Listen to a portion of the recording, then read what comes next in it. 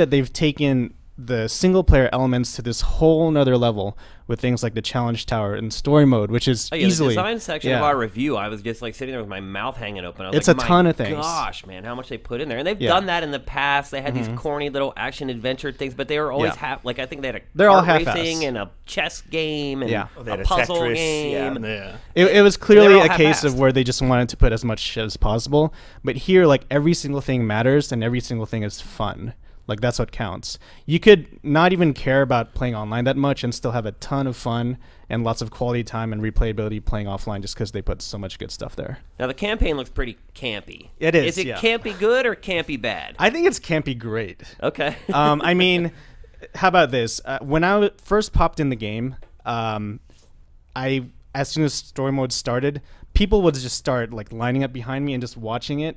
And like, what game can you say sustains a person's interest? You if know? they're not playing, Not only a, Yeah. fight, a fighting game. Yeah. Exactly, well. I mean, like, uh, much you less know, a fighting game, right? Yeah. No, this just feels like it feels like the way Mortal Kombat should be, and it it's you know they, they had so many missteps in the past. I really liked um, MK versus DC, but Mm-hmm. it, it was so held back by the teen rating, and this time, I mean, just watching you know I, I sat and watched you play, and then Justin play, and it, they also you know the way they bring the newbies into it with the training sessions and you know Yeah. they actually give you some of the fatalities to start off with so you can learn the combos and how to position yourself it's just a very smart polished product perhaps it doesn't do anything ultra new but everything it does do it does to such a high level how's the net code? Uh, the netcode is really good, and actually, one thing I really like about this uh, that not a whole lot of other fighting games do is with the King of the Hill mode, which I mentioned in the review. And for those that haven't seen it yet, it's basically uh, when you start up a player room.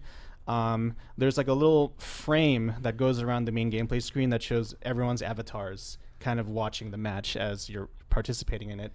And it's really cool because uh, not only can you talk in voice chat and reflect in real time like what's happening, but also you can have your little avatar like do thumbs up. You can give them a rating after they Do finish people the actually match. do that? Do they sit Oh, and watch other people's Oh, matches? totally. Yes, they Oh, do yeah, yeah, yeah, watching totally. it. it's actually one it, It's like right. MST3K kind of, right? Yeah, exactly. It's um, it's really funny too because if if you do like say a cool combo, people will like you know cheer and do thumbs up just to kind of cheer you on. Or if you know you're cheesing, you're spamming the same move over and over again, people will start to. so you can kind of you can kind of guess like what the audience is feeling based on the match, which kind of adds like a nice layer of interactivity to it on both sides. that's the mark of a good game though where people can sit I mean you can sit Yeah. and watch a fighting game Yeah. and watch it you know different characters you know over and over and just have fun watching that's a sign of a fucking good game Now, it, ha- it has a lot of good content in it. I know that. Yeah. I mean,